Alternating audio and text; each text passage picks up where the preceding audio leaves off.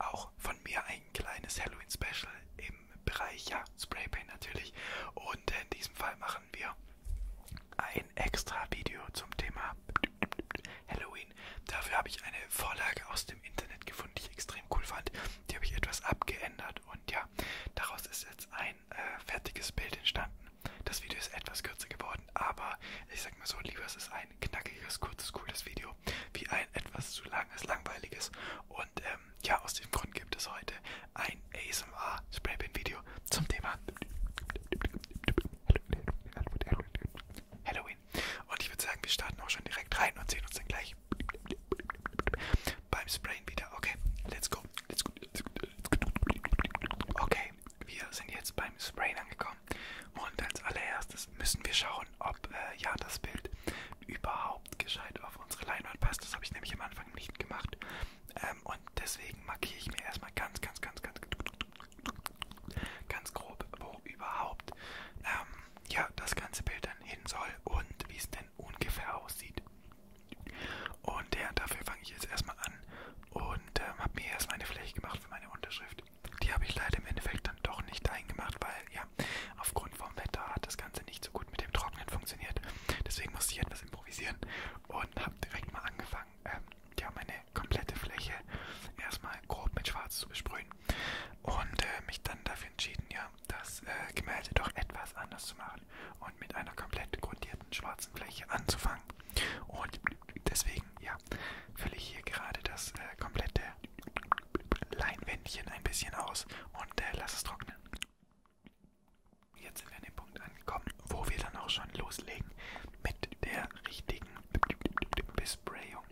Dafür positioniere ich jetzt erstmal alle Kleinteile, also in meinem Fall jetzt noch ein paar Fledermäuse und natürlich mein großes Gesamtbild. Ähm, und das Ganze wird dann jetzt mit ein paar Steinen fixiert, damit mir das Ganze nicht wegfliegt. Bei den kleinen Fledermäusen habe ich einfach gehofft, ja, dass ähm, die Untergrundfarbe noch ein bisschen, ein kleines bisschen irgendwie, ähm, ja, feucht ist und dass das Ganze ein bisschen besser hält. Hat leider nicht ganz so gut geklappt. Also die kleine mittlere Fledermaus, ja, das werdet ihr nachher auch sehen, die verabschiedet sich relativ schnell. Ähm, und ja, genau jetzt. Und dann habe ich auf jeden Fall angefangen, die Mitte etwas mit so ein paar Blau- und äh, Grüntönen zu sprayen. Ähm, das habe ich dafür gemacht, dass mir das Ganze ein bisschen wie eine Nacht aussieht, beziehungsweise ja, wie ein bisschen Vollmond. Und das wird einfach mein, äh, mein Hintergrund von diesem Bild werden. Als nächstes bin ich dann hingegangen und habe mir gedacht, okay, im Hintergrund hätte ich gerne noch so eine Art Mond oder Mondschein. Ähm, oder so ein bisschen was Mysteriöses, aber helleres. Und deswegen habe ich einfach mit einem hellblau und ein bisschen weiß, ja, so eine Art Mond- oder Lichtschein simuliert. Und ähm, das ist schon mein ganzes Nachtbild. Für die Kürbisse und für das Haus habe ich mich entschieden, einfach so ein, ja, helles Gelb-Orange zu wählen. Wie wenn man halt ein Licht ähm, in den Häusern bzw. Kerzen in den Kürbissen anhat. Und ich jetzt auch nicht hingegangen und habe ganz genau darauf geachtet, dass ich nur das Haus erwische, sondern ich wollte so ein bisschen Lichtschein ähm, in das Bild reinbringen und habe deswegen ordentlich drumherum gesprayt, auch mit dem Orange.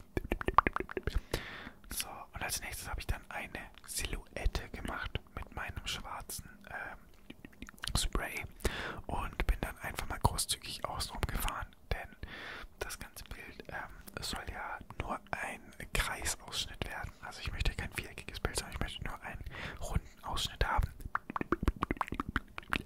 Und deswegen bin ich hingegangen und habe ja so ein bisschen Nacht, beziehungsweise ja, eine Silhouette gemacht für das Bild am Ende.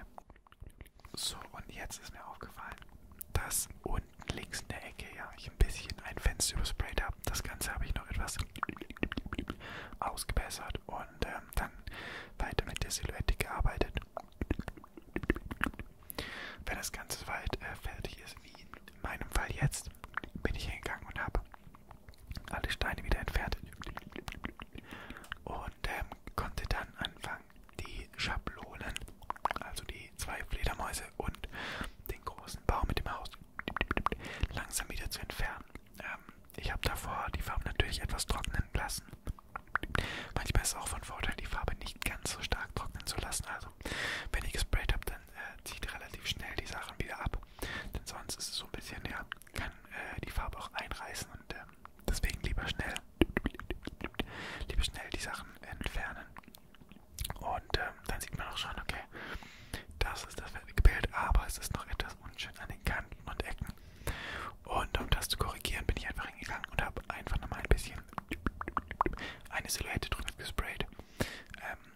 ist relativ simpel eigentlich. Ich habe nicht groß drauf geachtet, was ich überspray und was nicht. Bin einfach grob äh, drumherum gegangen.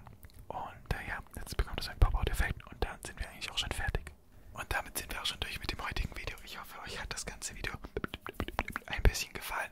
Und wir schauen uns natürlich jetzt das endgültige Ergebnis an, wie das Bild geworden ist.